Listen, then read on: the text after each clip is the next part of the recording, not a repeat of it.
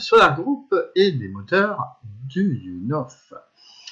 Eh bien, pour que vous puissiez également savoir de quoi il s'agit, je vais à nouveau vous faire la présentation de ce business et de cette opportunité, de cette innovation technologique. Je vous salue bien sûr. nous avons quelques membres qui essayent de nous suivre, ça et là, et je vous en remercie. On essaye de voir un petit peu si les compteurs tournent comme d'habitude, si euh, tout s'est bien déclenché. Bon, on ne sait pas trop, hein, parce que parfois, eh bien, on n'est pas toujours là. Bah, tiens, bizarrement, ce soir, alors que j'en ai pas trop euh, partagé la chose, eh bien, euh, j'ai pas mal de choses qui sont effectivement efficaces et qui fonctionnent. Alors que d'habitude, bah, ça fonctionnait pas trop. Moi, je voulais parler des partages, en fait, vous comprenez? Non, vous n'avez pas compris, ben c'est pas grave. Euh, l'essentiel, c'est que euh, voilà, c'est que je puisse vous euh, voilà, je vais partager ça également sur mon journal avec mes amis. Vous pouvez donc me suivre. Je vois qu'il y a un peu de monde, c'est sympa. Bonsoir, coucou Voilà, on va faire un coucou à la caméra, hein, quand même, c'est quand même plus sympa. Merci d'être là, en tout cas. J'essaye de vous apporter encore quelques bonnes nouvelles quelques euh, informations, quelques belles images récentes, en tout cas de ma tournée notamment au Bénin et au Togo. Je salue euh, mes amis béninois et mes amis togolais. Et euh, on va parler en tout cas de la présentation donc de ce projet des moteurs de UNOF comme à chaque webinaire pour que vous puissiez vous aussi utiliser ce document qui souvent est en replay et qui va vous permettre à vous aussi euh, de euh, pouvoir euh, l'expliquer à d'autres personnes qui sont peut-être pas encore dans le business et qui ont un petit peu de mal à comprendre de quoi il s'agit réellement. Comme ça, vous allez pouvoir leur donner un petit peu mon enregistrement et ça fera le nécessaire pour que vous puissiez mieux leur expliquer. Alors, je voudrais commencer tout simplement avec Monsieur Duyenov. Voilà, j'ai retrouvé les mots. Dmitri Alexandrovich Doyonov. Eh bien oui, c'est lui. Il est développeur de la technologie des bobinages euh, combinés de type Slavyanka. Alors qu'est-ce que c'est que c'est que ça? Euh, Donc c'est l'un des fondateurs, euh, en tout cas, du programme du groupement de recherche et de production de la SRL ASEPP. ASEPP étant une société qu'il a créée il y a une quinzaine d'années et qui a développé notamment euh, le découpeur de plasma euh, qui est un appareil qui fonctionne depuis une bonne dizaine d'années et qui est distribué à travers la Russie et qui est très connu, notamment même par des gens qui travaillent dans le domaine de l'aviation. On en a eu des témoignages il y a quelque temps par rapport à cet appareil. Et puis, euh, en tant qu'ingénieur, il a développé euh, ce qu'on appelle la roue moteur, la roue moteur type Slavyanka, et euh, dans ce cadre, eh bien, il a fait le nécessaire. Alors, je vais baisser un petit son parce qu'il y a des gens qui me, qui me bipent de partout. En tout cas, c'est gentil d'être là.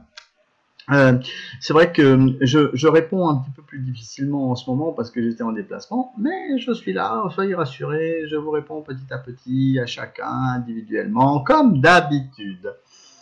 Euh, donc, je vous le disais, eh bien, Monsieur Duyunov, lui, eh bien, fait le nécessaire euh, pour euh, créer euh, des choses que les autres n'ont pas fait, notamment ce bobinage type Slavyanka.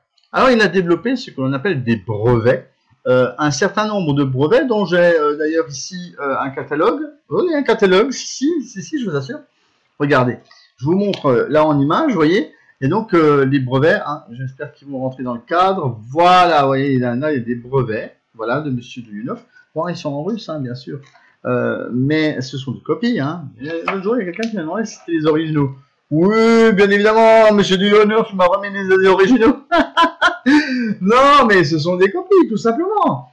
Mais euh, c'est la copie des vrais, hein, parce que ça, pour euh, des, copies de qualité, elles sont vraiment super en qualité, hein, je vous assure.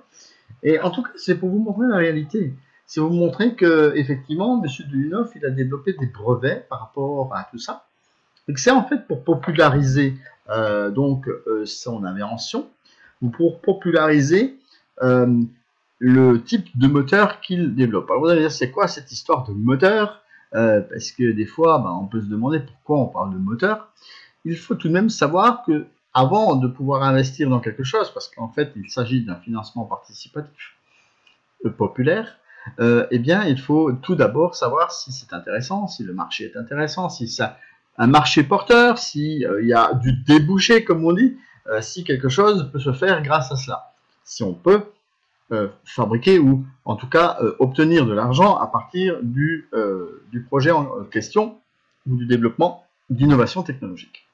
Donc, ce que je vous propose, c'est déjà de voir un petit peu de quoi il s'agit, de quel type de produit, pour que vous puissiez vous rendre compte du marché qui existe par rapport à tout ça. Alors, les brevets, oui, ils ont été développés. C'est pas Monsieur Duyunov qui a inventé euh, le, type de bobinage combiné, mais c'est lui en tout cas qui a déposé les brevets, qui a fait tout le nécessaire derrière euh, pour développer d'autres choses autour. Parce que vous pensez bien que si aujourd'hui et là, euh, il n'y a que quelques brevets, il n'y en a que 12 qui sont sur l'image, mais en fait, il y en a pas loin de 20, 20 brevets, 19, le 20e est en cours, pour vous dire qu'effectivement, il y a bien quelque chose de très concret là derrière. Alors, de quoi s'agit-il? Eh bien, il s'agit de mixer deux types de bobinage de moteur. pour ceux qui s'y connaissent un tout petit peu, il existe à la base les moteurs de type triangle et les moteurs de type étoile. Donc ça, c'est simplement, vous voyez ces, bobinages-là que vous voyez ici derrière moi sur l'image. Donc vous voyez ces bobines, voilà, ok? Eh bien, ce bobinage-là, des fois, il est en triangle, des fois, il est en étoile. C'est comme ça que ça se passe dans un moteur.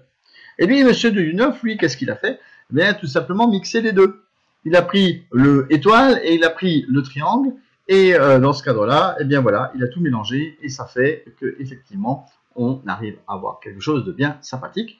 On a des moteurs de type asynchrone, euh, donc des moteurs électriques. Alors, l'autre jour, quelqu'un qui m'a dit, mais alors si c'est des moteurs, ils, fonctionnent à quoi Mais mes chers amis, est-ce que nous avons déjà parlé d'autre chose que de moteurs électriques Oui, ce sont des moteurs électriques.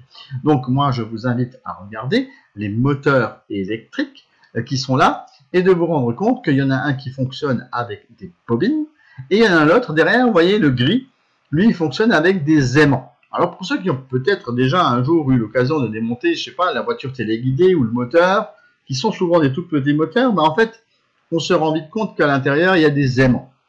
Et euh, c'est ce qu'on appelle les moteurs BLDC.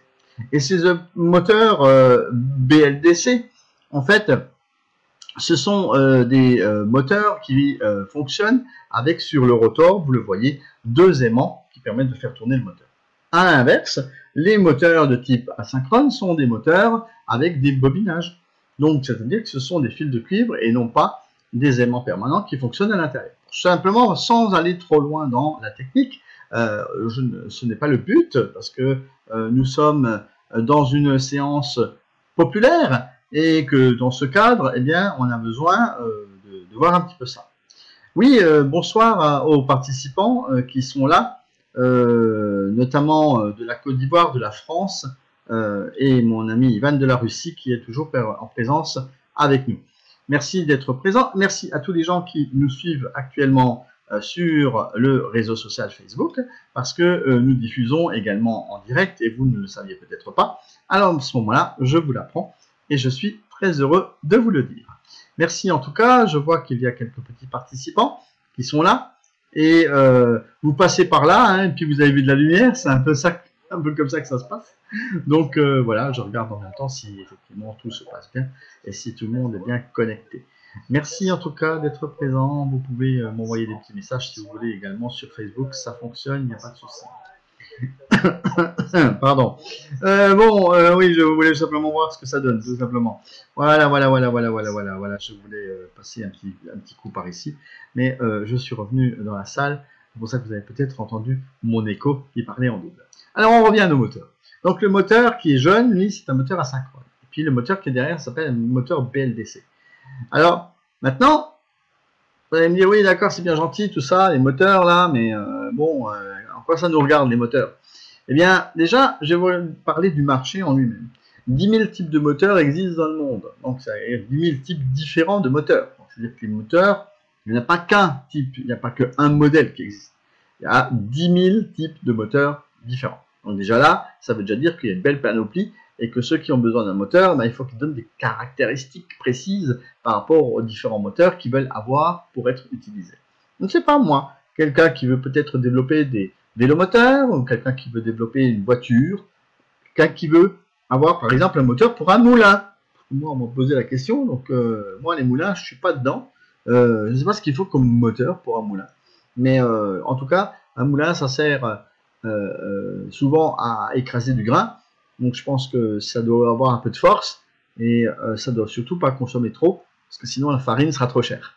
Donc là, vous voyez que même dans ce domaine-là, je ne sais pas si vous êtes par exemple fabricant de moulins, j'en sais rien moi, vous pourriez imaginer proposer ce genre de moteur, des gros moteurs hein, bien sûr, euh, pour euh, écraser votre farine. On sait rien, tout ça comme ça. Voilà. Alors, ensuite, euh, nous avons 7 milliards de moteurs qui sont fabriqués ou rénovés par an, par an, pas, une fois, par an. Et ça, c'est un gros chiffre. Sachant qu'en plus, ce chiffre est en constante augmentation et a tendance dans les prochaines années à atteindre les 10 milliards de moteurs. Parce que, vous savez sans doute, dans certains pays, comme la France par exemple, où moi je réside, eh bien, on a décidé d'ici 2040 de supprimer entièrement les voitures qui fonctionnent à l'essence ou au diesel. Donc, euh, on n'aura plus l'occasion euh, de rouler avec ce genre de véhicule. Et euh, à ce moment-là, comme on n'aura plus l'occasion de rouler avec ça, ben, il faudra bien rouler avec quelque chose et on essaiera très certainement de s'orienter vers les moteurs électriques. Là aussi, vous l'avez compris, du potentiel en jeu. Ensuite, il faut savoir que 60% euh, de l'énergie mondiale utilisée, ce que produisent les centrales électriques, eh bien, est utilisée par des moteurs. Donc, vous voyez que la consommation, euh, la principale consommation d'électricité au monde est utilisée par des moteurs. Donc, ce qui fait que, mine de rien, c'est c'est pas quelque chose d'ordinaire, c'est pas quelque chose de, simple donc, euh, c'est quand même important de le préciser que 60% de l'électricité est utilisée par des moteurs électriques. Et puis, il faut aussi savoir que 11%, euh, pardon, 11 personnes, 11 personnes, euh, non, 11 moteurs, pardon, c'est 11 moteurs par personne au monde. c'est quand même pas mal, hein alors, il y a des gens qui disent, oui, mais moi je les vois pas, les moteurs. ils sont où, ces moteurs? Parce que vous dites qu'il y en a 11 par personne. je vais vous montrer.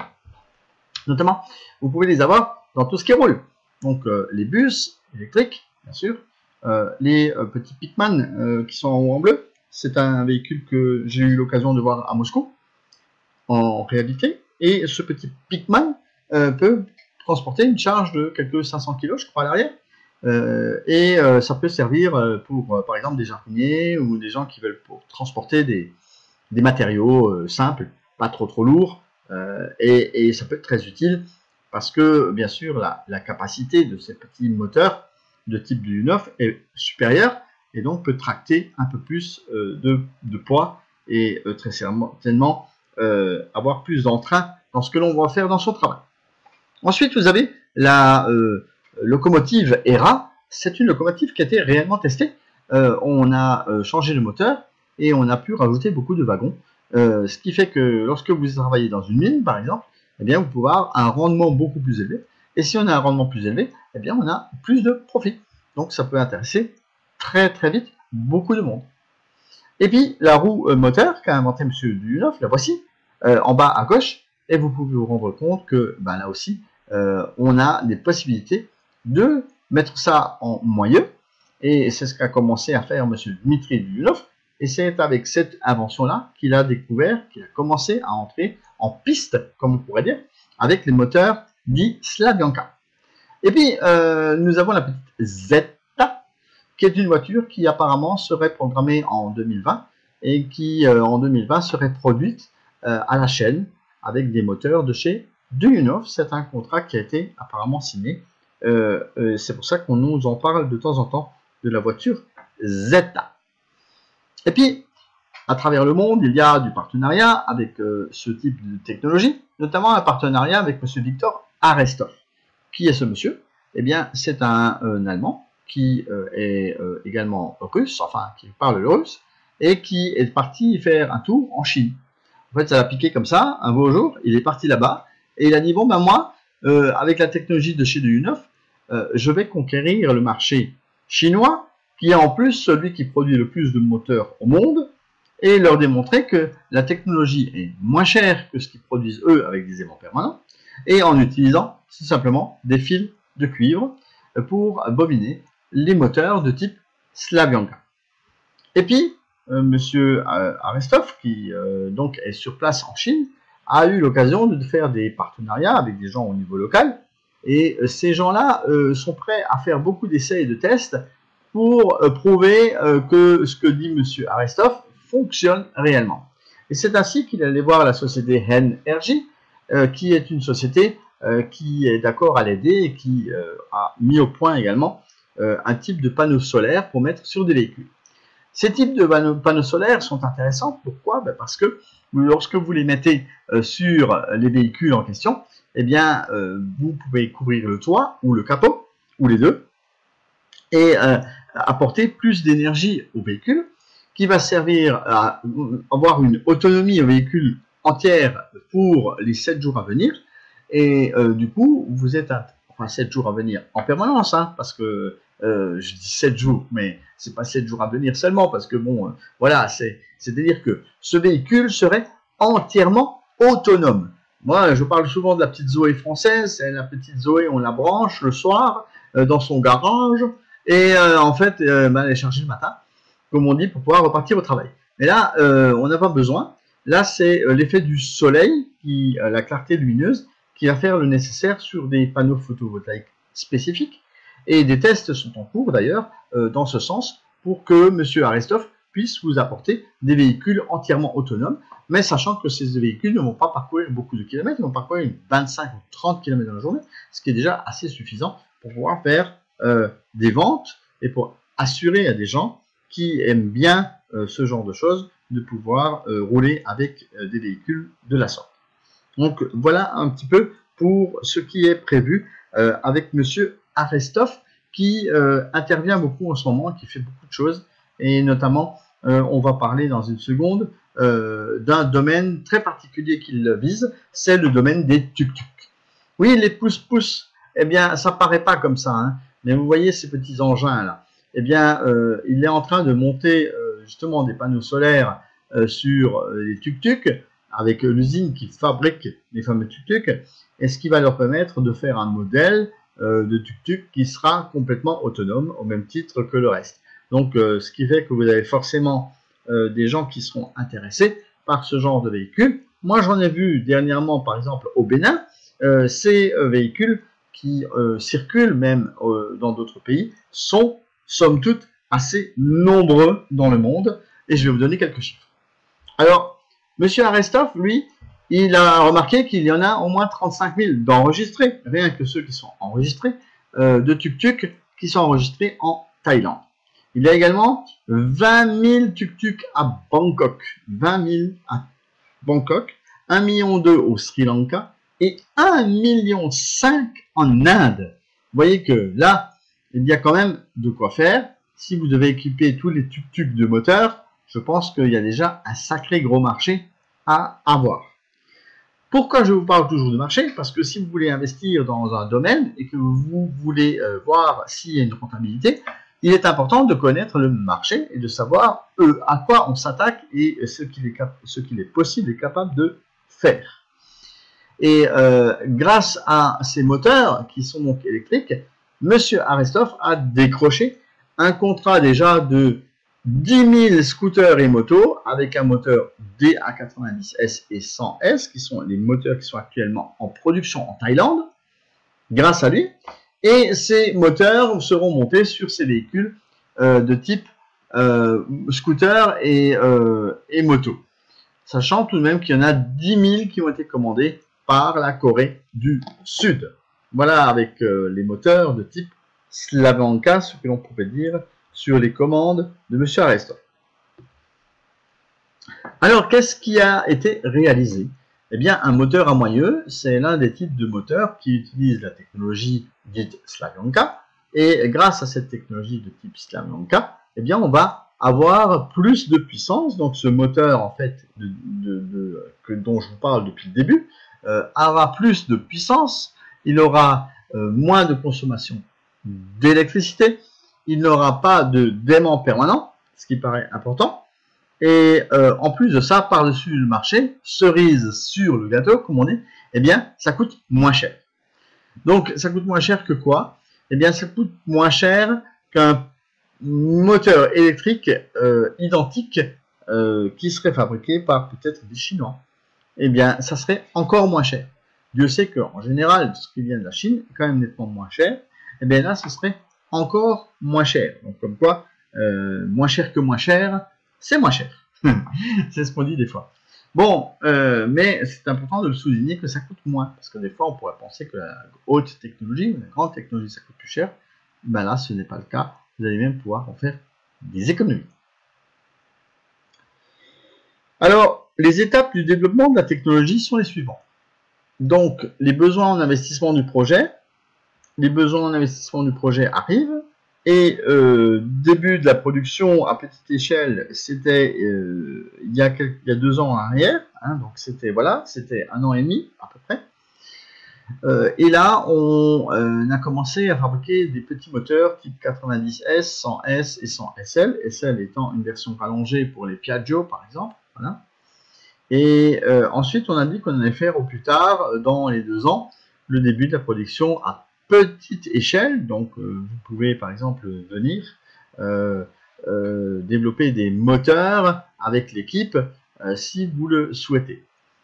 Alors, ne soyez pas étonnés si de temps en temps je pars un petit peu comme ça en live, comme on dit, mais je, je, cligne un peu des yeux de temps en temps. je vous avouerai que je sors quasiment d'un avion pour être présent dans ce webinaire et que c'est pas toujours facile. Euh, bon, alors passons. Euh, c'était pour euh, vous signaler que si je délire un peu dans mes paroles, c'est simplement parce que ben, c'est un petit peu de fatigue qui me retombe dessus. Bon, alors, voyons voir ce qu'on nous dit ensuite. Le début de la production à grande échelle. Ça, c'est la deuxième étape du projet. Alors, c'est vrai que le projet a démarré, lui, en 2017. Il a commencé en 2017 au niveau du crowd investing. C'est-à-dire que je vous ai dit tout à l'heure que M. Euh, Dimitri euh, Dunov lui développe depuis quelques années, depuis 15 ans avec ASCPP, déjà tout ça. Mais là, ils ont décidé de créer une société qui s'appelle Sobelmash. Et Sobelmash, c'est la société que nous soutenons tous par le biais de l'investissement. Alors, qu'est-ce qu'on va faire? Ah ben, Je vais vous l'expliquer tout ça, hein, bien évidemment. Je suis là pour ça. Euh, donc, à la base, on essaie déjà de comprendre quels sont les besoins d'investissement du projet, quels sont les besoins que l'on a, pour vous demander en quelque sorte de participer. Donc, le projet, lui, il a commencé par une fabrication faible de moteurs. Là, on en est à la phase de production à plus grande échelle, euh, avec M. Aristov qui a, lui, créé une unité de fabrication en Thaïlande, euh, avec laquelle il produit d'ailleurs déjà des fameux moteurs de type Slavyanka. Et puis, il y a la troisième euh, étape, le, la plus, euh, le plus tard dans les trois ans, au plus tard dans les trois ans, parce que en fait, c'est vrai que le programme est étalé sur trois ans, entre 20 euh, étapes, et que nous en sommes actuellement à l'étape 11, et que lors de cette étape 11, nous avons atteint plus que la moitié du projet. Et dans ce cadre, je vais vous expliquer tout ça. Donc, voilà l'investissement, les besoins d'investissement du projet. Donc au début, eh bien, production à petite échelle. Maintenant, c'est production à plus grande échelle et euh, construction du bureau d'études et d'ingénierie. C'est ce que nous avons euh, besoin euh, ici pour vous montrer comment cela fonctionne. Alors, comment la compagnie va-t-elle faire des profits? Multiplication et extension de la production. Donc la production, je viens de vous en parler à l'instant, il y a des moteurs qui sont déjà produits. Donc on va produire plus de moteurs. Donc on va pouvoir les vendre et peut-être aussi les adapter sur des véhicules qui sont déjà en circulation. Technique de vente des outillages pour la fabrication des produits. Donc ça aussi c'est important.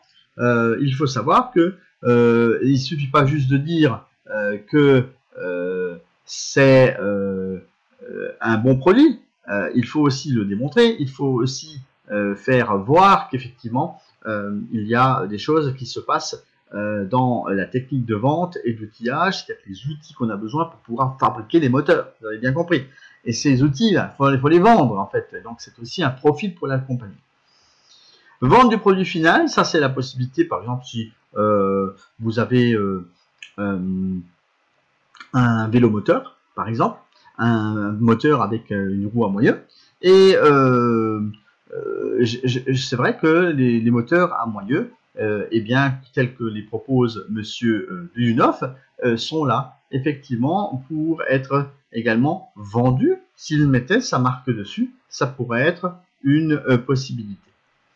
Et puis, euh, nous avons aussi la vente de la licence permettant de maîtriser et de fabriquer euh, les produits, les produits euh, donc que propose Monsieur Dunoff. Alors je vous explique. Par exemple, si vous vous envisagez et que vous voyez que vous voulez développer, par exemple, cette technologie dans votre pays, vous pouvez très bien être très intéressé à la développer grâce euh, aux aides et à la licence notamment que propose M. Duyunov euh, aux différents partenaires à travers le monde. Et c'est d'ailleurs comme ça que la société va également faire, je pense, beaucoup de profit parce qu'il y a des gens qui sont très intéressés à développer ça par ça, par ça, par eux-mêmes. Parce que la technologie apparemment est tout à fait transférable et euh, ne demande que de mettre en place une licence.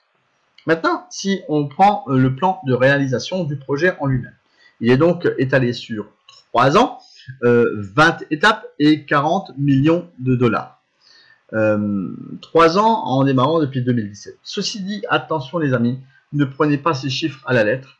Euh, vous savez, il y a marqué 2020 à la fin, mais euh, sachant qu'il y a dans le projet une construction, on ne peut pas vraiment dire qu'il y ait dans ce genre de choses eh bien, un délai bien précis que l'on puisse donner.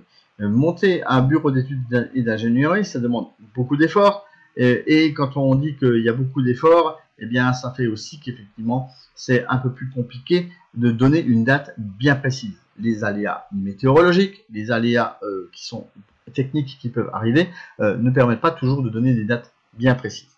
moi, je pense qu'on devrait tabler sur un peu plus longtemps pour une entrée en bourse, parce que c'est ce que souhaite Sovelmash, euh, et euh, ça ne se fait pas non plus comme ça. On ne peut pas claquer dans les doigts et rentrer en bourse.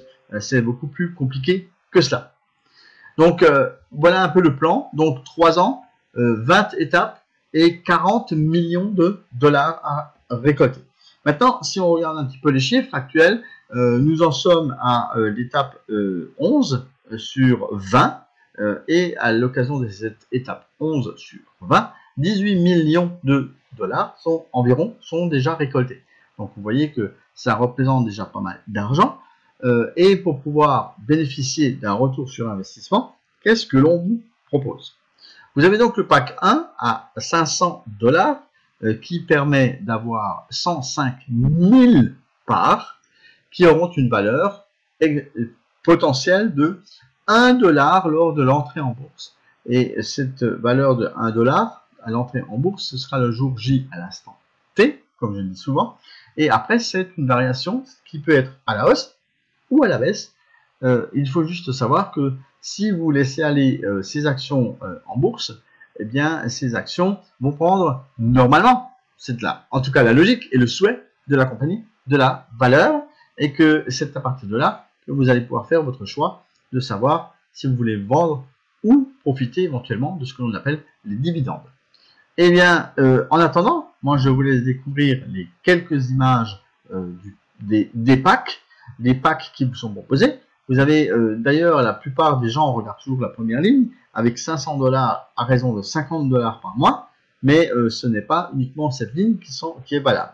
Vous pouvez très bien avoir la ligne 3 ou la ligne 4 avec des montants beaucoup plus intéressants, notamment 1500 dollars sur 15 mois c'est euh, voilà un escompte de 247, soit euh, là c'est 217 000, 237 000 pardon, je voyais de travers, 237 000 par euh, qui sont proposés et cela n'est pas négligeable parce que si vous descendez un peu plus encore dans le tableau, vous pouvez vous rendre compte que vous avez possibilité d'avoir presque un million de parts ou des fois un demi-million de parts. Ça peut être intéressant de savoir que toutes ces parts sont disponibles après pour vous et que vous allez pouvoir les acheter grâce aux mensualités qui sont proposées. Et que certaines mensualités vont même jusqu'à, vous pouvez le voir, 20, 20 mois ou voire 25 ou 30 mois euh, selon le type de pack que je vous invite à découvrir dans votre pack office. Euh, si vous n'avez pas encore de pack office, je vous indiquerai comment le faire à la fin de cette euh, présentation pour que vous aussi vous puissiez participer au projet.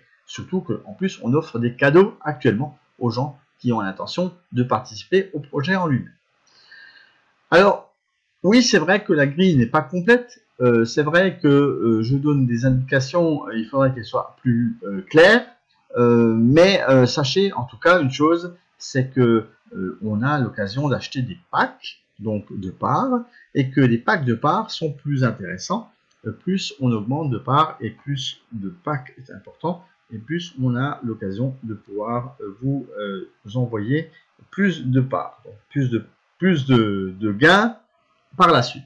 Ça y est, excusez-moi, hein, j'accroche un peu, mais je vous l'ai dit, c'est un état de fatigue de ma part. Le prix des parts d'investissement dans la société est donc nettement inférieur. Vous avez peut-être vu ou pas vu, ou je vous le remontre, regardez voir la colonne. Là. Il y avait une colonne, ah tiens, euh, excusez-moi, je suis parti un peu trop loin, du coup, alors on va revenir sur euh, la bonne grille, euh, je m'excuse, j'ai cliqué sur le mauvais bouton, eh bien, on va revenir sur, voilà, et eh bien on était là. Donc, je reviens sur le truc, c'est que ici, si on prend la première ligne et que vous voyez mensualité, vous voyez, tout à droite, il y a marqué 0,00476 dollars. Donc euh, c'est vrai que ça ne représente pas beaucoup une part et que ça peut être très intéressant de pouvoir euh, en disposer. Voilà donc euh, pour cela. et puis, eh bien, on va aller un peu plus loin. Donc, les parts de placement deviennent de plus en plus chères à chaque changement d'étape. Ça, je vous en ai pas parlé. Et je vous montre les fameuses étapes en question. Donc, on a l'étape 1, 2, 3, 4, 5 jusqu'à 20. Et ces étapes, en fait, aujourd'hui, nous en sommes à l'étape 11.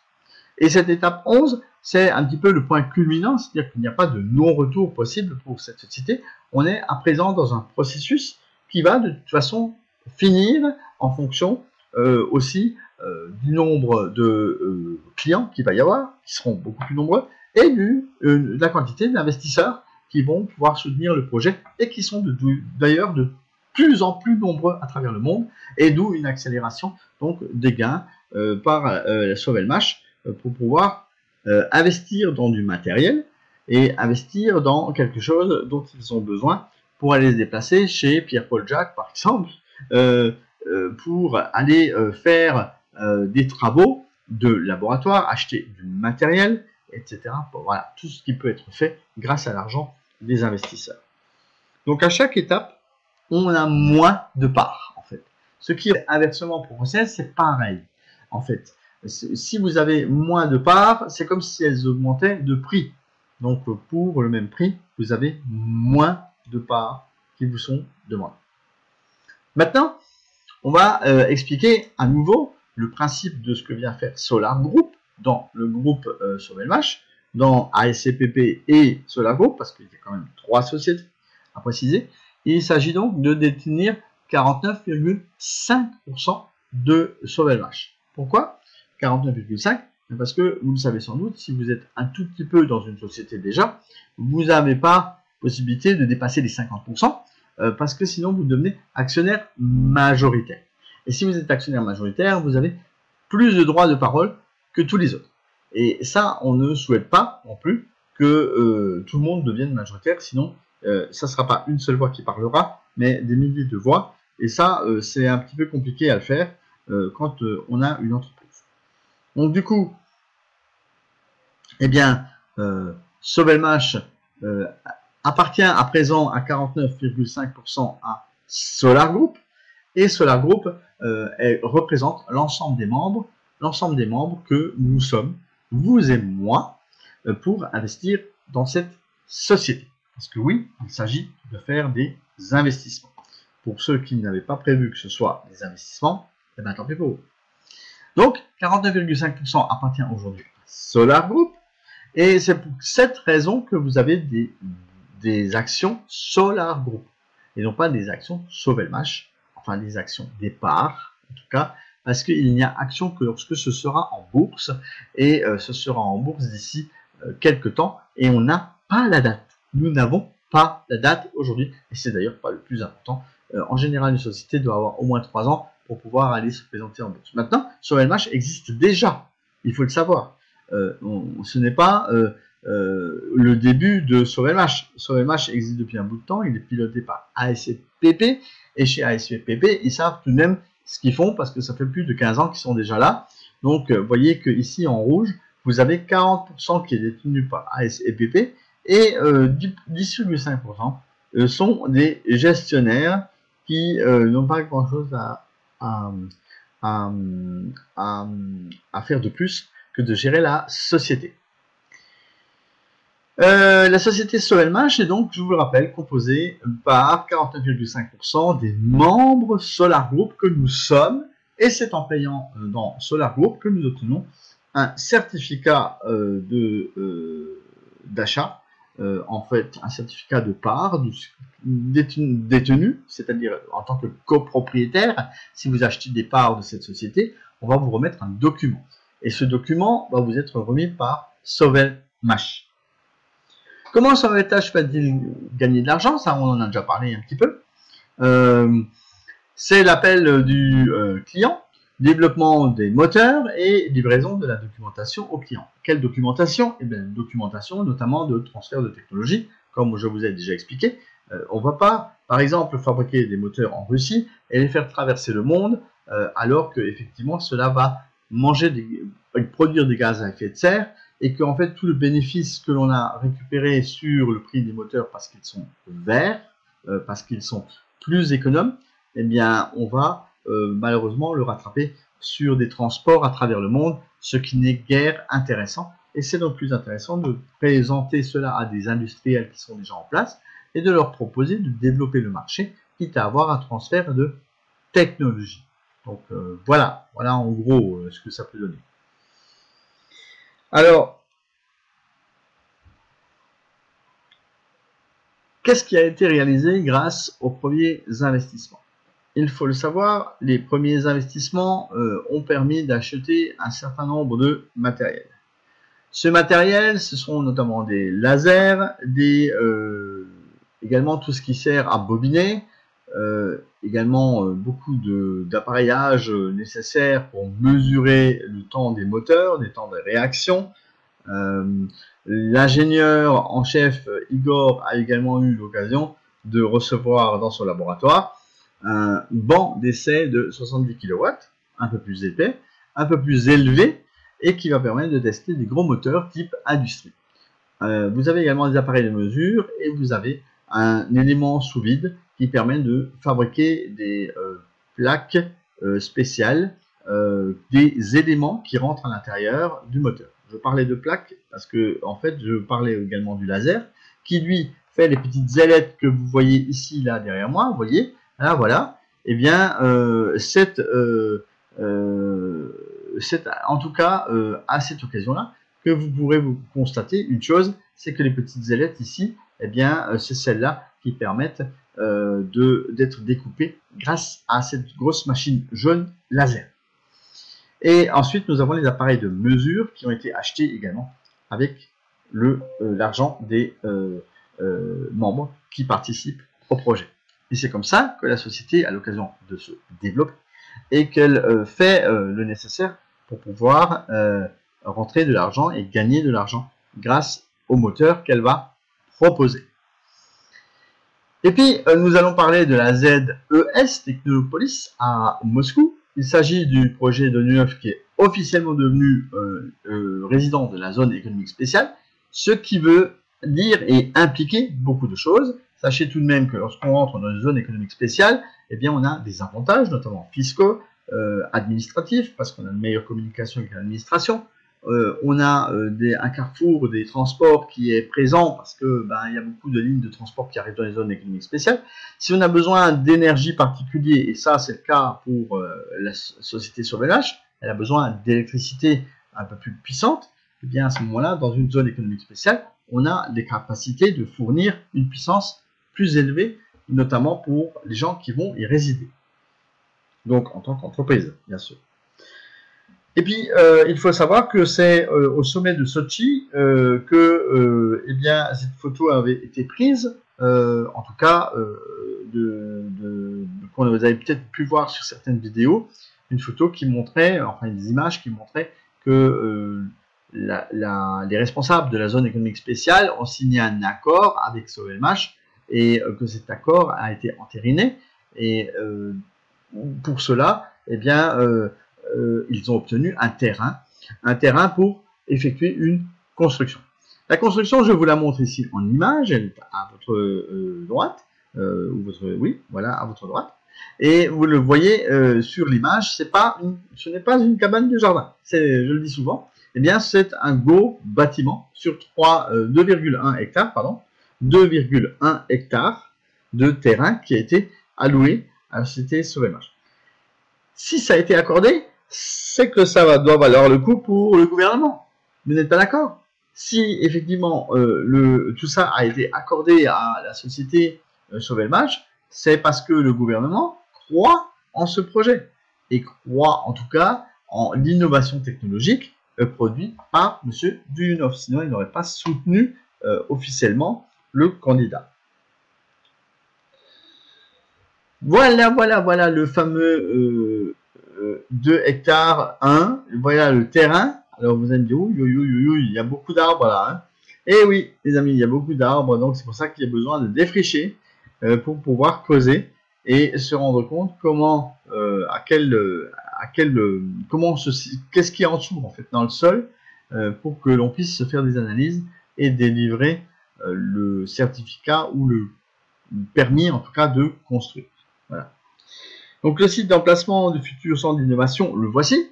Euh, et euh, pour pouvoir vous en rendre compte, je vous montre que euh, on a développé quelques pelleteuses qui sont venues et qui ont développé une clôture tout autour, une clôture de type lambda, une clôture avec des tôles pour déterminer le terrain en lui-même et que de trop de curieux ne viennent non plus mettre leurs yeux dans la construction en elle-même. Je vous montre une maquette, une maquette de la société Block, Block qui est en, en Tchécoslovaquie, et euh, la République tchèque, pardon.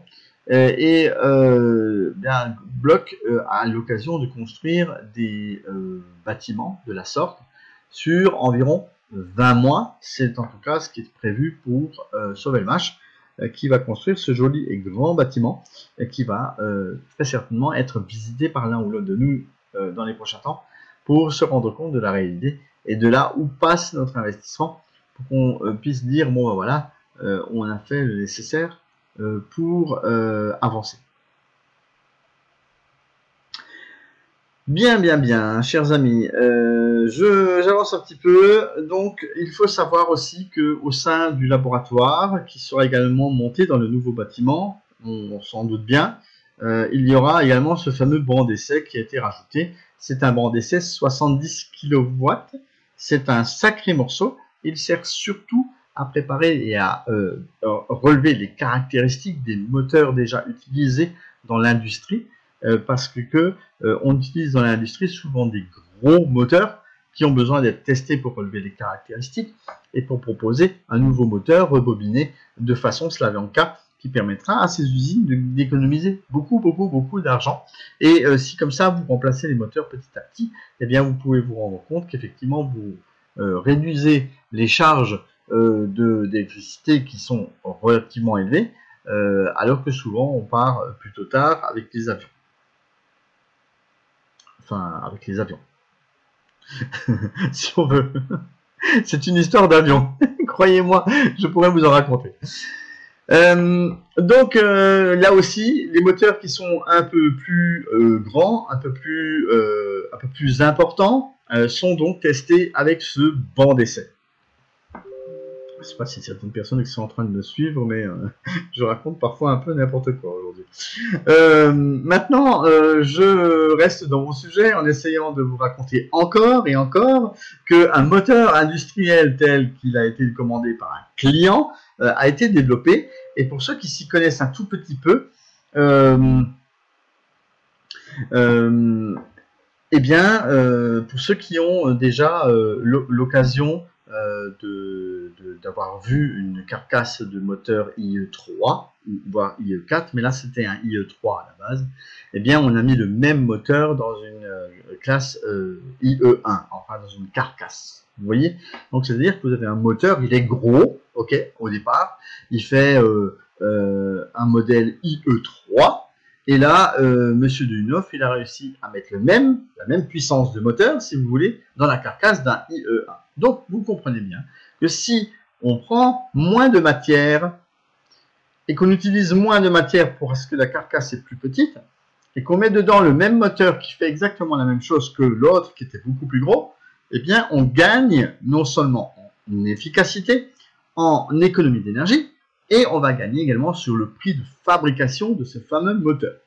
À partir de là, maintenant, eh bien, la société SovelMash est susceptible de euh, pouvoir euh, développer des moteurs de ce type et surtout de les certifier parce que on va utiliser le laboratoire de pour pouvoir certifier ces moteurs et pour pouvoir aussi les vendre à d'autres clients, même si à la base c'est un moteur qui a été commandé par un client qui avait besoin de caractéristiques spécifiques, eh bien on peut aussi le proposer maintenant à d'autres clients qui pourraient être susceptibles de pouvoir utiliser ce type de moteur dans leurs propres usines. Voilà, comme ça vous compreniez un petit peu comment ça fonctionne.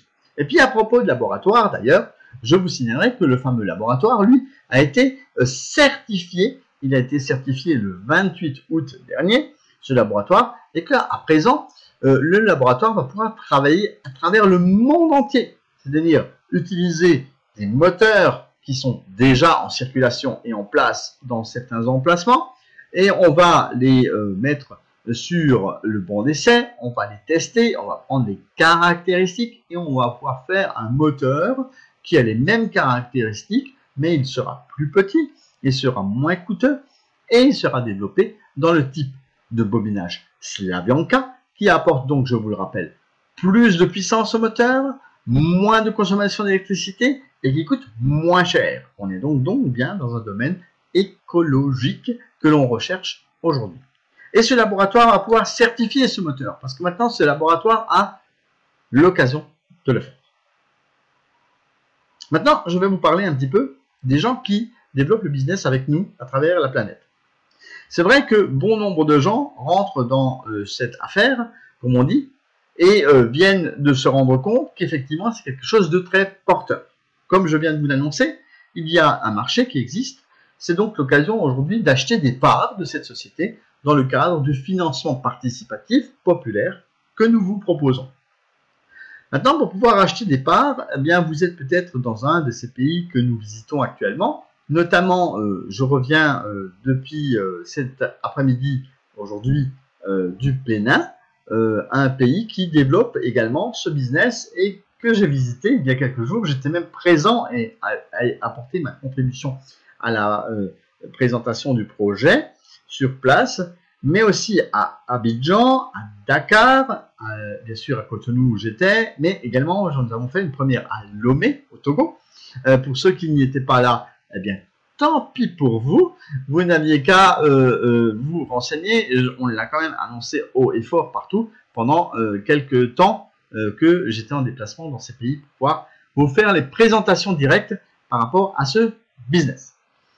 Maintenant, je voudrais vous parler, avant de vous montrer toutes ces images, je voudrais vous parler de ma nomination de partenaire national. Oui, je suis partenaire national de la France. J'ai été nommé le 8 juin dernier à Paris et je chapeaute donc euh, mon pays dans le cadre euh, de mon partenariat que je fais avec la compagnie. Ce partenariat me permet à moi euh, de développer le business, c'est-à-dire développer, cest faire de l'affiliation. Et dans cette affiliation que l'on fait, eh bien, il faut savoir que l'on peut y gagner de l'argent. gagner de l'argent tout de suite, oui, parce que si vous faites de l'investissement, vous gagnez plus tard. Mais si vous faites de l'affiliation, vous gagnez tout de suite. Donc ça, ça a été dit, parce que beaucoup de gens parfois ne comprennent pas pourquoi on parle de business et pourquoi on dit qu'il y a de l'argent à gagner. Oui, oui, oui. Alors, il y a des gens qui ont la patience d'attendre et qui ne veulent absolument ne faire que de l'investissement. C'est totalement votre droit, vous pouvez le faire comme ça. Mais il faut savoir que si vous voulez gagner de l'argent tout de suite, eh bien c'est tout à fait possible. Mais il faut bien sûr se décarcasser un tout petit peu comme je le dis. Et c'est le cas de. Bon, à partir de là, nous sommes allés aussi à Abidjan. Eh bien, nous sommes allés à Abidjan le 3 août dernier, où euh, nous avons fait euh, une autre présentation, avec 250 personnes dans la salle, un peu plus de 250 d'ailleurs, entre 250 et 300, et qui ont assisté à ma deuxième nomination en tant que partenaire national. Un partenaire national, c'est quoi? Eh bien, je vous apporte les informations, je vous fais comme ce soir les webinaires, et je présente également en salle, euh, voilà mon travail pour que vous puissiez, vous, en langue française, vous rendre compte de quoi il s'agit, que vous puissiez euh, avoir quelques notions de ce qui est raconté, euh, et avoir une sorte d'éclairage, dirais-je, entre guillemets, sur ce qui est proposé dans ce business. Vous pouvez rendre compte que nos amis russes étaient sur place, ils sont donc venus en Côte d'Ivoire, et dans ce cadre, eh bien, euh, nous avons eu une traductrice qui a suivi pour que vous puissiez toujours tout bien et mieux comprendre. Et c'est comme ça que l'on pratique lorsque l'on va faire une ouverture de pays. Et euh, Dieu sait qu'il y en a qui sont en train de préparer ardemment une nouvelle ouverture de pays pour nommer un partenaire national. Maintenant, je voudrais vous montrer quelques images des conférences en Côte d'Ivoire et au Sénégal, notamment euh, nos amis de Abidjan, en haut à gauche. Vous avez à droite les amis de Boaké, où nous allons aussi nous rendre prochainement, euh, et euh, en bas à gauche, où là aussi on va s'y rendre prochainement. Euh, oui, oui, si, si, si, si. Si vous êtes dans ce coin-là et que vous nous suivez, que ce soit en direct ou en replay, eh bien je vous l'annonce, d'ores et déjà, je vais débarquer.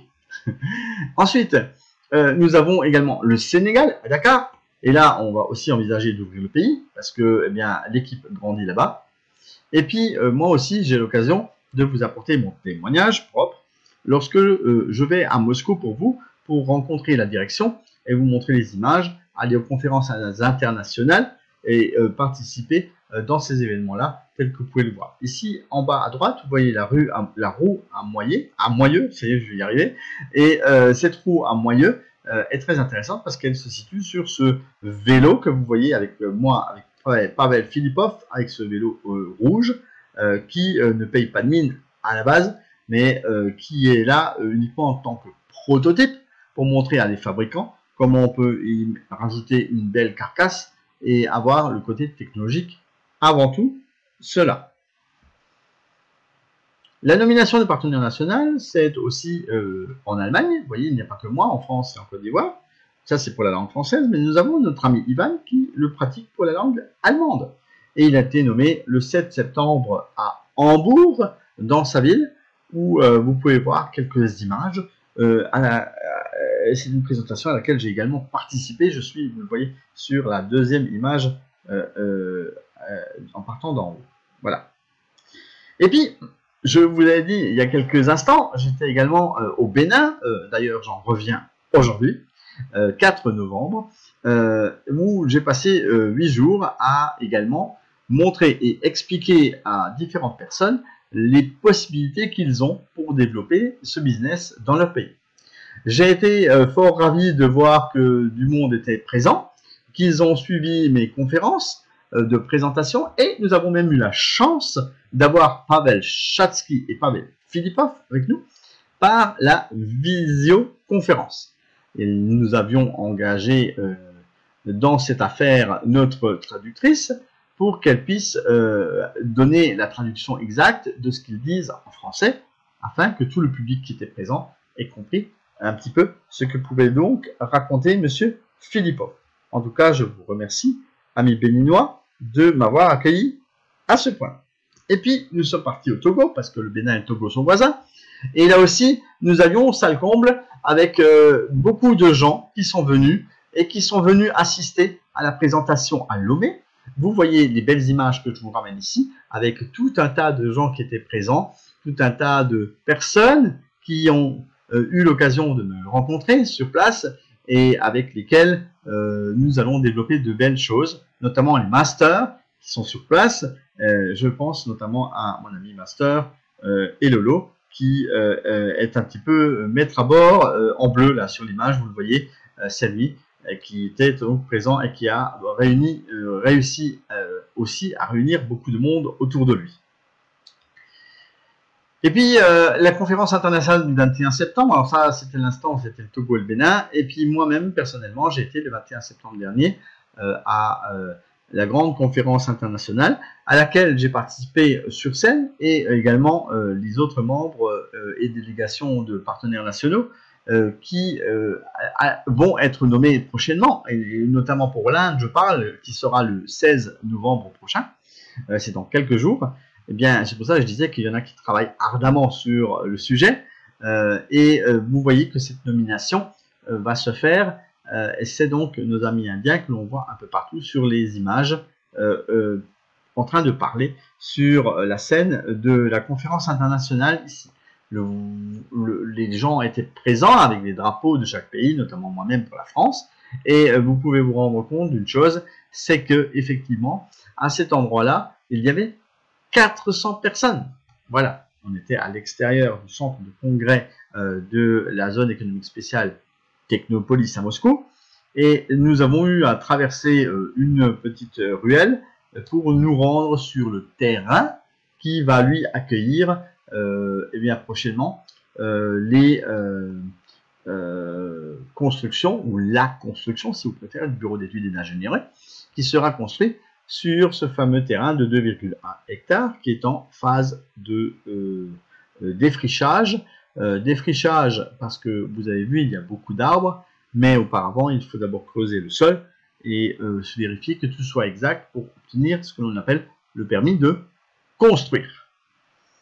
Alors, voyez, si je vous donne un petit résumé comme ça, vite fait, je peux vous dire une chose, c'est que le projet des moteurs du U9, c'est une start-up industrielle euh, russe dont l'objectif est de vulgariser la technologie de type du U9 en euh, créant un bureau de conception technique pour le développement euh, des moteurs électriques. Donc, c'est-à-dire qu'on va euh, créer des unités dans ce laboratoire, dans ce, gros bâtiment des bureaux d'études et d'ingénierie, qui vont pouvoir faire des tas de choses avec ces fameux moteurs, les tester, les retester, les refaire, etc. Le crowd investing, financement participatif populaire. Alors pourquoi populaire? Parce que, eh bien, dans certains pays, on peut même y accéder avec 10 dollars, 10 dollars, vous voyez, c'est pas beaucoup, ça représente 7000, 7500 francs CFA, ceux qui sont peut-être euh, en Afrique, où je vais un peu plus souvent. Le crowd investing financement participatif populaire, euh, qui a débuté en 2017, et selon un plan prédéfini, durera 3 ans, euh, eh bien, divisé par 20 étapes de développement, ça montre le potentiel qu'il peut y avoir à développer et à soutenir surtout cette société qui s'appelle euh, euh, ici, on peut le dire, le projet a déjà récolté euh, beaucoup d'argent, notamment 1 euh, milliard de roubles russes. Et si on fait une, conversion, pardon, une conversion en devise américaine, US, eh bien, cela nous donne environ 18 millions de dollars. Vous pouvez le faire vous-même, un milliard de francs euh, de, roubles, pardon, euh, de roubles euh, russes, un milliard de roubles russes. vous regardez combien ça fait de dollars. Vous allez voir, ça fait autour aux alentours de 18 millions de dollars sur un projet qui nous demande d'avoir 40 millions de dollars. Et donc, on peut ainsi dire qu'on est quasiment à la moitié du projet, sachant qu'il y a toujours de plus en plus de monde qui entre et de plus en plus de gens qui continuent à payer et acheter des packs, ce qui fait que forcément, à un moment donné, eh bien, euh, les choses vont avancer et vont avancer dans le bon sens. Et on est aujourd'hui dans une phase de non-retour sur ce projet. C'est-à-dire qu'on ne va pas engager quelque chose en disant à un moment donné, eh bien non, ça ne fonctionne plus. Euh, on engage le projet et à ce moment-là, on voit ce que cela donne grâce euh, au retour sur investissement que l'on pourra voir d'ici quelques années. Alors, ne soyez pas pressés. Ce business qu'on vous propose ici n'est pas un hype, ce n'est pas quelque chose, nous avons une garantie. La garantie, c'est que euh, si on veut rentrer dans une zone économique spéciale telle que euh, la société Sovelmatch a réussi à entrer, eh bien vous devez avoir un garant qui signe le chèque à votre place si jamais ça ne fonctionne pas, euh, de telle manière à ce que le projet aboutisse. Alors je n'ai pas dit que les gens allaient être remboursés, parce que souvent on me pose cette question. Et je vous le dis, non. Alors je vous montre notre garantie. En fait, elle est là notre garantie. Ce document, c'est en fait la garantie. Euh, ce document prouve euh, qu'effectivement le euh, service en question, qui est donc la mairie de Moscou, a délivré ce document parce qu'il y avait un garant. Un garant, c'est quoi? C'est quelqu'un qui vous donne euh, la différence si jamais le projet n'aboutissait pas. C'est-à-dire que si le projet devait s'arrêter au niveau du crowd investing, c'est-à-dire en tant que membre, euh, nous ne pouvions plus acheter pour une raison X, Y ou Z, et eh bien à ce moment-là, euh, le garant rentre en fonction et pourrait verser la différence. Actuellement, je vous l'ai dit, il y a 18 millions de dollars de récoltés. eh bien, si ça devait s'arrêter aujourd'hui, eh bien, sachez que le garant serait susceptible de placer la, la, la, différence, c'est-à-dire 22 millions de dollars pour arriver aux 40 millions de dollars nécessaires au projet pour aboutir. Donc vous voyez que c'est un accord qui a été fait, euh, qui est à mettre en avant, euh, même si de temps en temps on a tendance un petit peu à le cacher, eh bien euh, c'est comme ça que, en tout cas, ça se fait et on, ça se voit.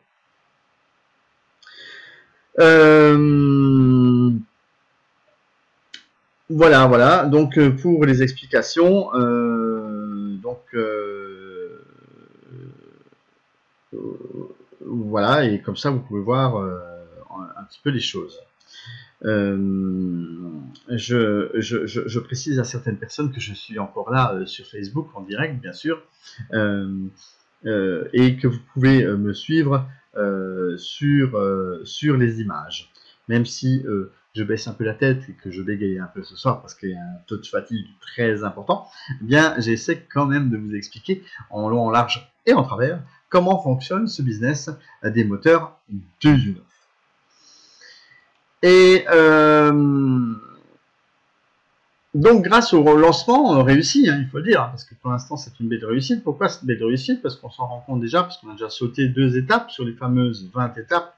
On a déjà euh, sauté euh, l'étape 6 et euh, on a euh, également sauté l'étape 8 en fait dû au fait qu'il y avait beaucoup plus d'investisseurs que prévu et qu'avec l'argent qui a été récolté, on avait avancé dans le sens du programme qui était prévu. Parce que sur 20 étapes, bien sûr, on a fait un étalement de 20 étapes bien précises et que sur ces étapes, c'est souvent une question de, montant qui est nécessaire à l'occasion d'une étape.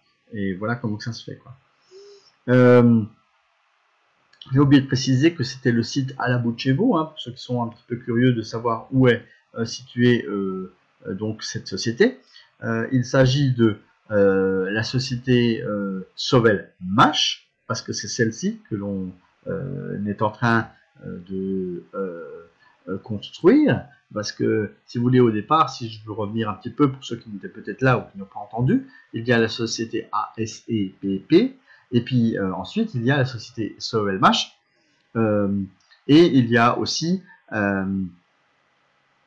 il y a aussi en dehors de ça, la société Solar Group qui fait donc à présent partie de la société qui va développer ces fameux moteurs et qui va fabriquer pour des clients intéressés. Sachez même qu'il y a près de 20 000 fabricants de moteurs au monde dont 5000 qui sont uniquement dans l'automobile. Bien que les automobiles, pour les automobiles, vous le savez, il y a des moteurs qui se développent tous les jours, des choses qui se font en matière électrique, euh, mais à l'avenir, euh, tous ces fabricants pourraient aussi s'intéresser à la technologie dite Slavionka euh, que propose M. Duyunov, et ceci dans, le cadre de ce qu'il propose. À ce jour, bien, le projet compte plus de 120 000 participants et plus de 3000 partenaires. Les partenaires sont des gens qui développent, c'est-à-dire des gens qui vont faire de l'affiliation, donc du parrainage, et euh, ces gens vont gagner de l'argent immédiatement parce qu'on a par exemple 15% au premier niveau de parrainage, 15% chaque fois que quelqu'un achète un pack, et s'il l'achète par mensualité, il y a souvent 10 mensualités, eh bien vous percevez tous les mois, en fonction de la mensualité, 15% du montant versé. C'est pas rien, je vous invite à le faire et surtout euh, à nous suivre dans nos équipes. Je vous donnerai à la fin de ce webinaire un lien qui vous permettra de vérifier par vous-même comment vous inscrire et comment euh, parcourir tout cela. Si vous avez des questions, euh, alors si vous avez des questions que vous êtes dans la salle de conférence, je peux vous proposer à présent de bavarder, comme ils écrivent, de bavarder avec moi, me poser peut-être l'une ou l'autre question euh, pour que je puisse euh, y répondre. Et euh, à partir de là, si vous n'avez pas spécifiquement de questions, vous pourrez toujours les poser euh, sous le replay qui sera diffusé sur YouTube. Et à partir de là aussi, on a euh, sans doute l'occasion de pouvoir vous répondre l'une ou l'autre fois. Je suis également joignable très souvent sur Facebook et vous pouvez me poser des questions. Nous avons également des plateformes ou même des forums de chat officiels tels que Telegram, tels que Facebook et là aussi, vous avez l'occasion de venir euh, poser vos questions. Euh, si vous le souhaitez, je me ferai un plaisir de vous y répondre s'il y a peut-être un point euh, qui n'est pas clair. donc, ben, s'il n'y a pas spécifiquement de questions là, dans le, ou si vous êtes peut-être en train de les taper, je ne sais pas, parce que j'ai vu qu'il y a quand même pas mal de gens qui s'étaient rajoutés, notamment Robert.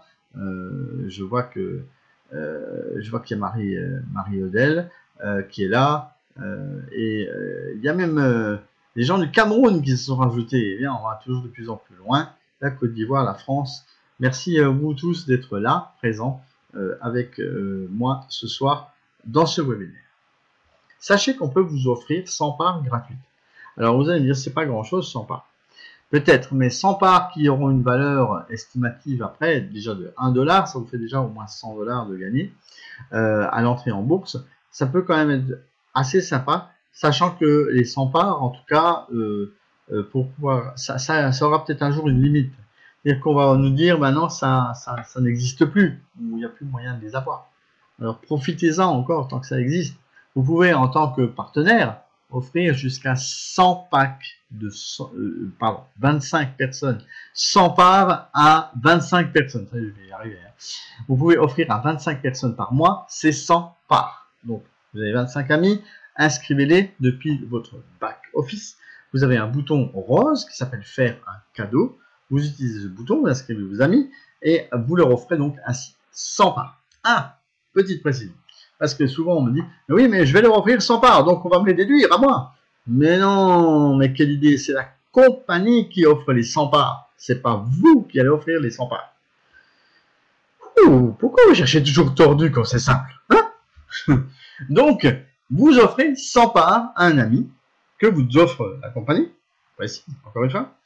Et donc, ainsi, vous allez pouvoir faire un cadeau sympathique parce que même si cet ami n'est pas forcément intéressé, eh bien un beau jour, s'il fait sa vérification sous un mois, il aura droit à ses 100 parts gratuits. Alors, là aussi, aujourd'hui, j'ai encore eu des remarques de gens qui ont dit, oui, euh, euh, on n'a pas fait la vérification, les 100 parts ont disparu du, back-office. Ah bah oui, non mais, vous recevez des cadeaux, mais en plus, vous ne voulez pas vous en occuper. Vous ne voulez pas les valider et vous ne faites rien. Donc, si on fait des cadeaux, c'est pour que vous puissiez en profiter, c'est pour que vous démarriez un business, vous y intéressiez pas pour que vous ayez un compte et puis que vous alliez dormir. Donc, si vous voulez dormir, dormez. Mais nous, on travaille pendant ce temps. Euh, et, voilà quoi. Euh, voilà donc euh, l'occasion de faire le nécessaire pour venir vers nous. Vous le savez sans doute, chaque semaine, Monsieur Duyunov nous présente un petit peu ses nouveautés et nous parle de ce qui s'est développé dans la startup des moteurs qu'il développe. Euh, il y a euh, les résidents du Vietnam, qui est l'un des pays les plus actifs dans ce projet, qui peuvent désormais obtenir des informations complètes sur le projet dans leur langue maternelle. Donc ça, c'est quelque chose également qui a été rajouté dans le back-office.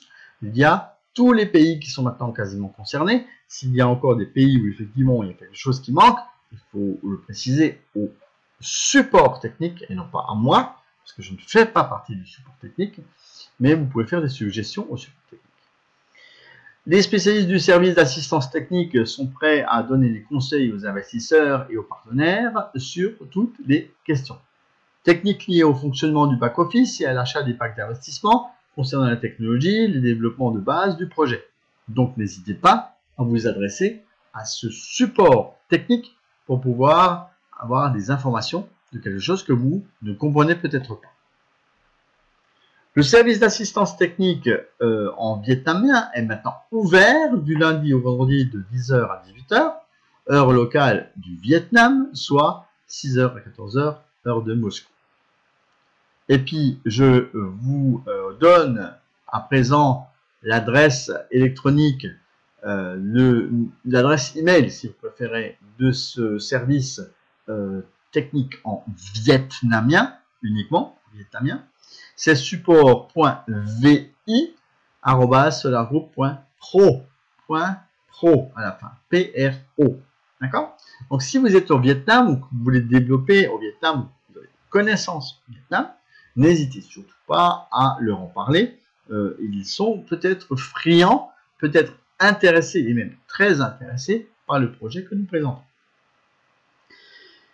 Et puis, rappelons que récemment, il y a eu beaucoup d'excellentes nouvelles pour les participants vietnamiens au projet. Il ne faut pas l'oublier. Donc, vous avez moyen euh, de faire le nécessaire euh, avec ce pays. La plus importante euh, d'entre elles étant l'inauguration du bureau de représentation nationale de la conférence internationale à Hanoï qui se tiendra le 7 septembre prochain. Et puis, vous le savez peut-être, l'Inde a aussi l'occasion de fêter cela le 16 novembre prochain avec euh, mon ami Birdie et toute son équipe avec qui il travaille.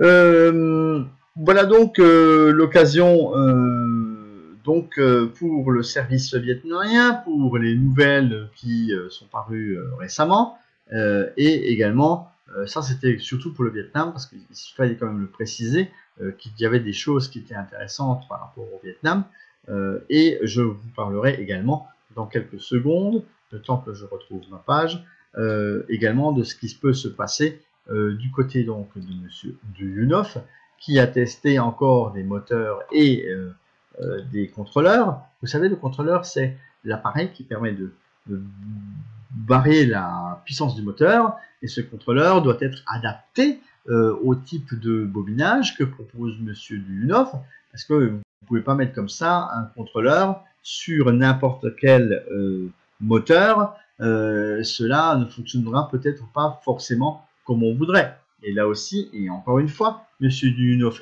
est intervenu dans ce domaine et a fait, euh, s'est occupé du développement pour vous montrer qu'effectivement, il y a des choses possibles.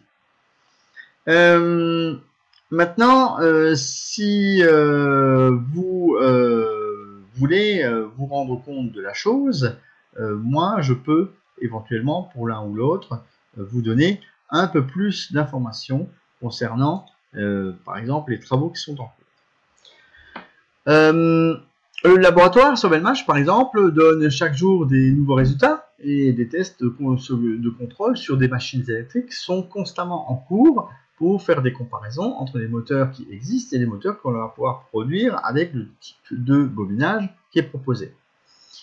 Euh, on a réussi maintenant, et je vous l'ai dit au début, de mettre un IE3 dans un IE1, dans la carcasse d'un IE1, et on va maintenant même plus loin que cela, parce qu'on peut aujourd'hui annoncer, 4 novembre, euh, qu'il euh, y a un IE4 qui peut rentrer dans le moteur d'un IE1, dans la carcasse en tout cas d'un IE1, euh, ce qui veut dire qu'on va gagner beaucoup de place et beaucoup de puissance euh, par rapport aux différents moteurs existants.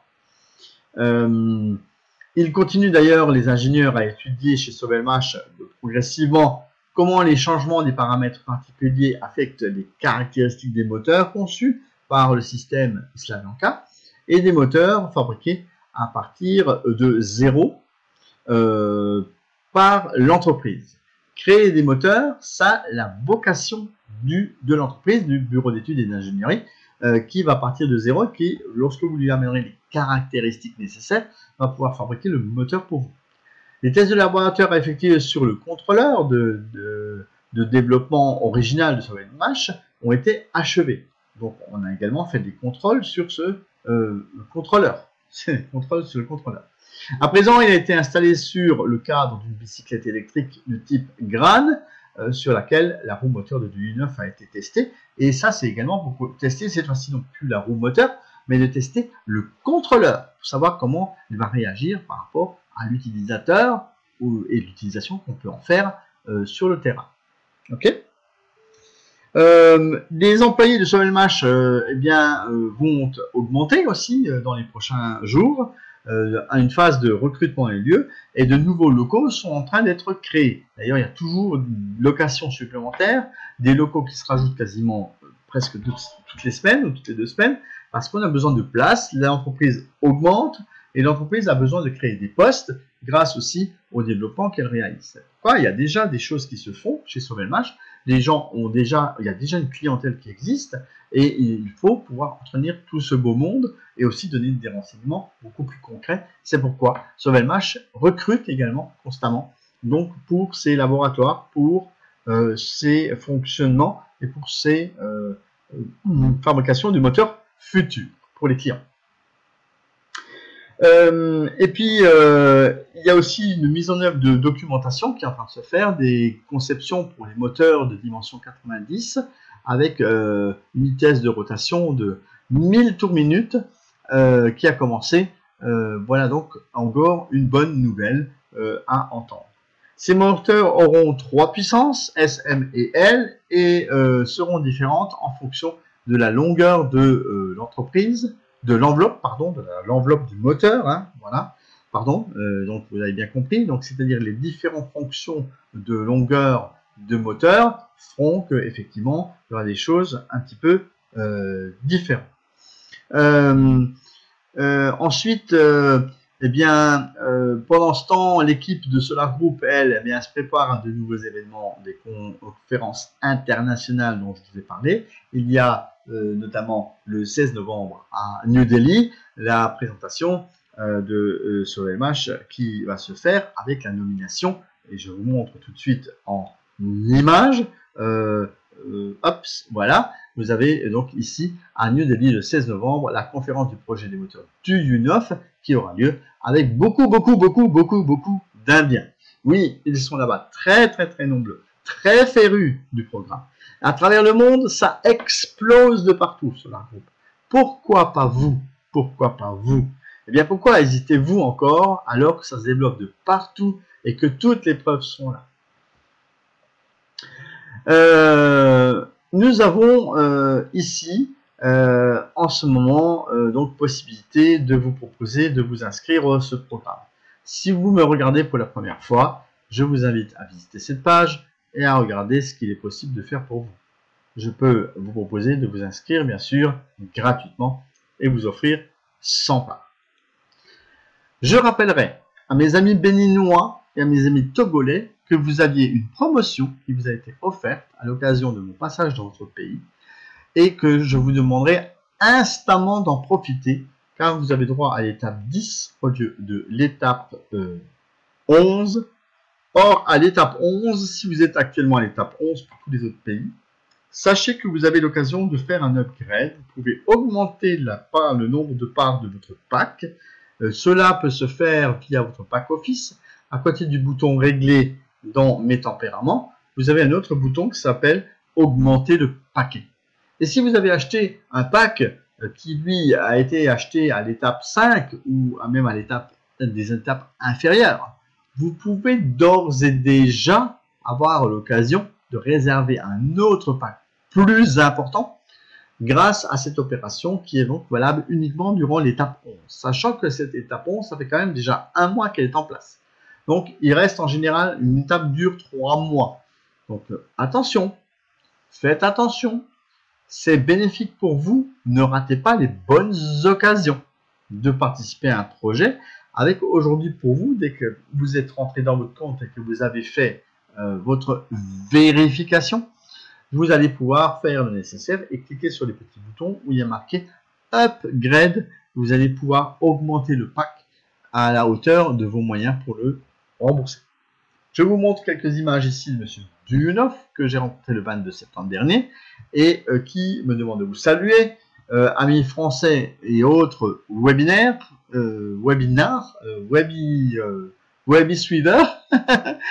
et euh, à cette occasion, je vous remercie d'avoir participé à cette soirée.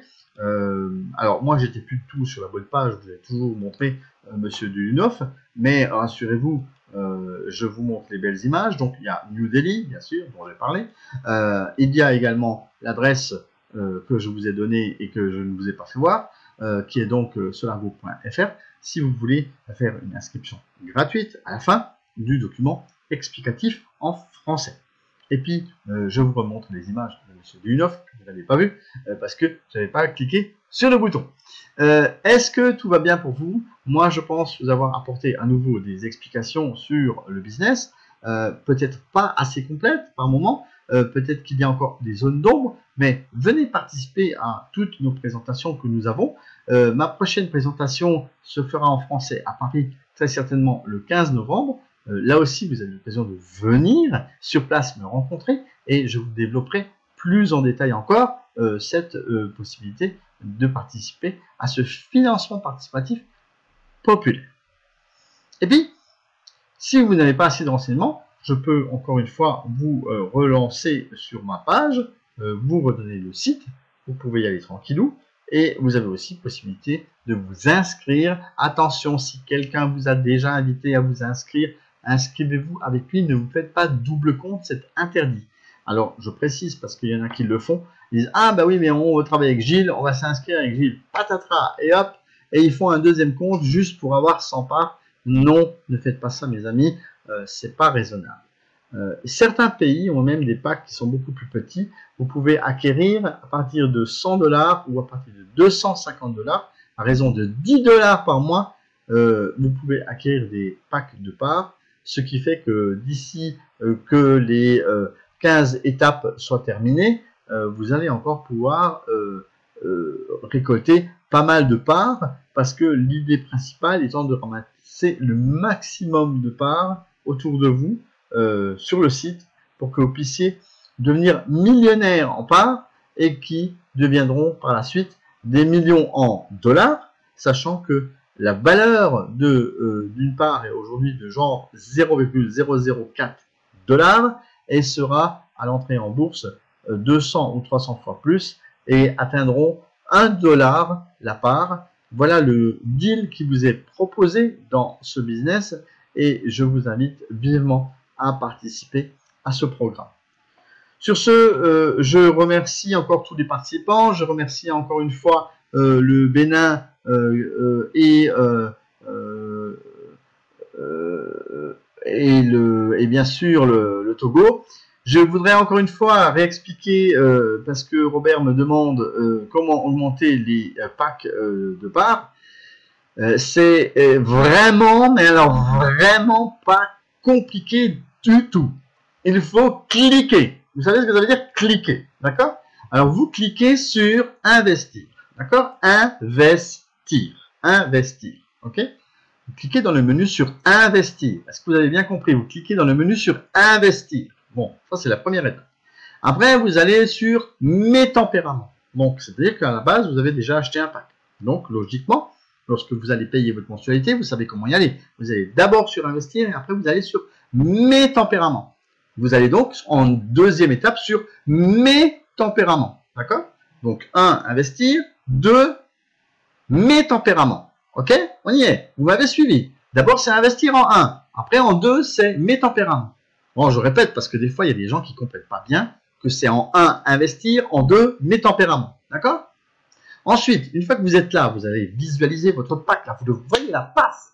Vous le voyez, le pack. Il est là, devant votre nez. Bon, alors quand vous voulez faire le paiement, vous cliquez bien sur le bouton Régler. Vous avez bien un bouton bleu qui vous permet de payer votre mensualité. Vous le voyez, ce bouton. Il est marqué Régler en dessous du pack. Passe. Il est marqué Régler. Donc là, à côté du bouton Régler, juste à droite, vous voyez, à droite ou en dessous, si vous prenez votre smartphone, il y a marqué augmenter le paquet. Augmenter le paquet.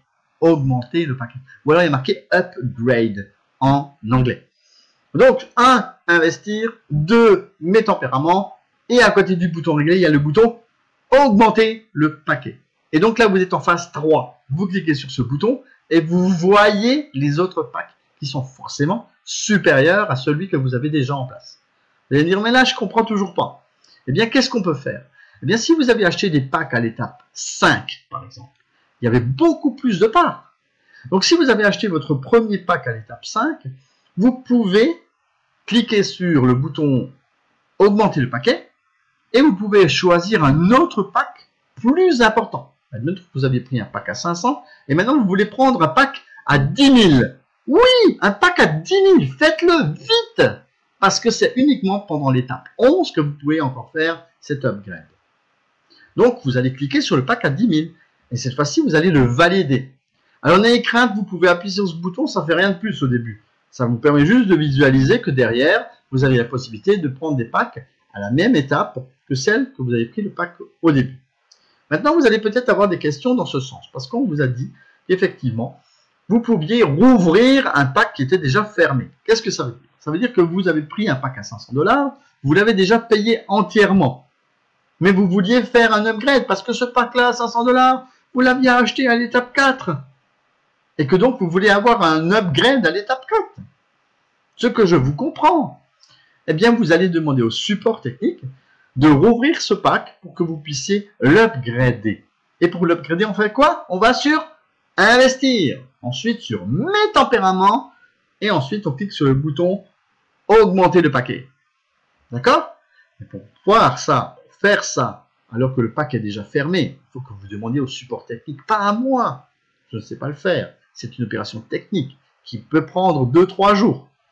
Mais vous pouvez, durant l'étape 11, augmenter votre pack.